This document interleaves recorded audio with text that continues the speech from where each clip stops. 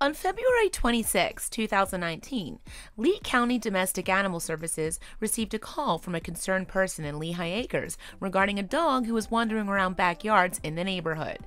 The dog, a Florida Cur Mix, had electrical tape wound tightly around his snout.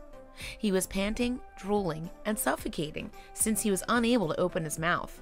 In addition, he was dehydrated, malnourished, and was bleeding from wounds on his arm and chest.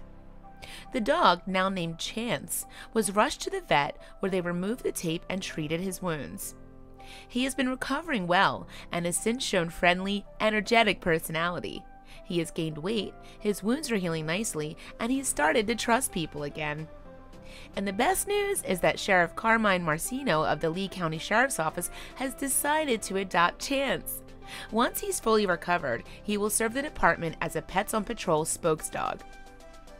Chance has already accompanied Marceno to many events, including a ribbon cutting ceremony at the new Spins Roller Skating Center, as well as the Teen Driver Challenge, where Deputy Chance got to watch young drivers show off their driving skills through obstacle courses.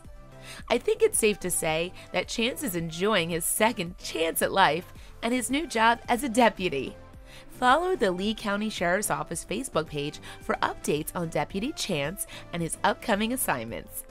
The Lee County Sheriff's Office is seeking justice for this poor pup and investigating this case of abuse. Please share to pass on this story to a friend or family member.